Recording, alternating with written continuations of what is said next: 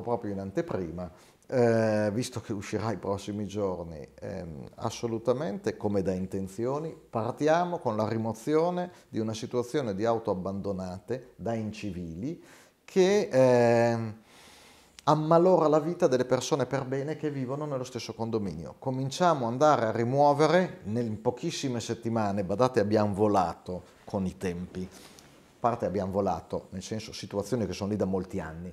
Eh, tra poche settimane partono i carro attrezzi e cominciano a rimuovere le auto che si trovano in una situazione di, di, di rifiuto.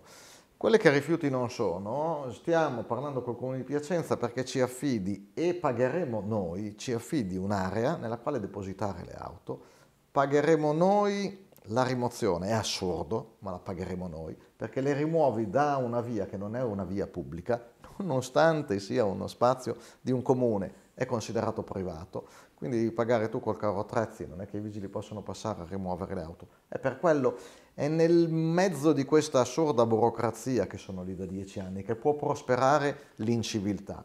Noi non, assolutamente non intendiamo adagiarci su questo, quindi pagheremo noi le spese di rimozione, le depositeremo in uno spazio per non pagare ovviamente il la deposito. custodia e il deposito.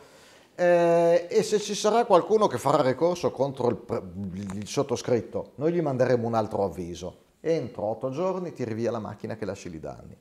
Però c'è gente che magari adesso abita in altre parti del mondo o che, che ne è irritracciabile. Se qualcuno dovesse comunque eh, chiamarmi a rispondere perché gli abbiamo spostato l'auto, non gliel'abbiamo bruciata, gliel'abbiamo spostata e gliela stiamo tenendo da un'altra parte. E ho fatto la battuta in CDA i primi giorni che ci siamo insediati. Sono arrivato a quasi 60 anni e ho ancora la condizionale. La metto in gioco su questa cosa qui, perché vorrei vedere di essere condannato, perché rimuovi una situazione di inciviltà e di offesa rispetto alle persone che si comportano bene. Sono loro che dobbiamo rispettare, non chi se ne approfitta. Chi se ne approfitta vedrà in poche settimane i carri attrezzi, assolutamente.